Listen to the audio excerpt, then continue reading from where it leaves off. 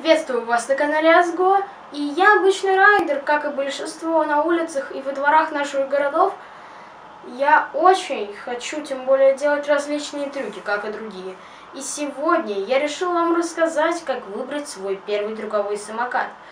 Итак, прежде всего я хотел бы сказать, что начинал я свое катание на самокате Fox Pro Shark. Вот тут вот фоточка, скорее всего, будет.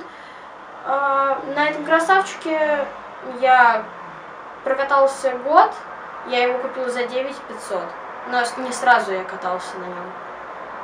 Так вот, вначале вам надо выбрать стиль катания. Стрит, катание по улицам или парк, катание в специальных парках.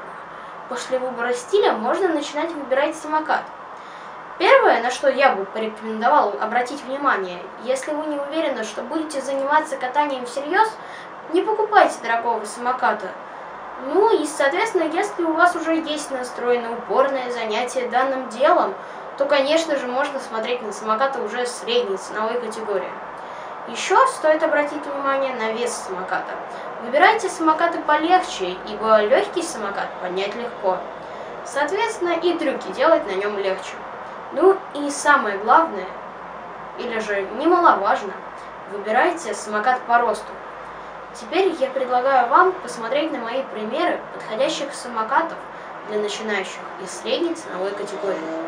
Первый самокат District S Series C050 2017 года. Почему именно этот самокат, вы можете спросить меня. Объясняю, данная модель стоит 12 тысяч рублей и весит 3 килограмма. Этот самокат больше подойдет для парка, да и для стрита тоже подойдет я думаю. Видел я такое вживую, и выглядит он хорошо, да и кататься удобно. Второй самокат Fox Pro RAV3. Опять же, почему именно он? Все очень просто. Этот самокат весит 3800, но при этом его цена 7500 рублей.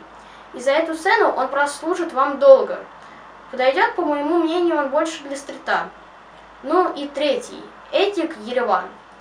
Итак, я вписал его в эту тройку, по трем причинам. Первое – вес 2,9 килограмма.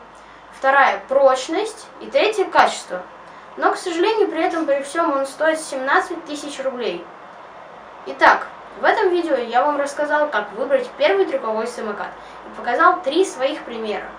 Ну, а на этом у меня все. Всем спасибо за просмотр. Ждите новые видео на этом канале, так как я возрождаю его. Всем удачи и пока.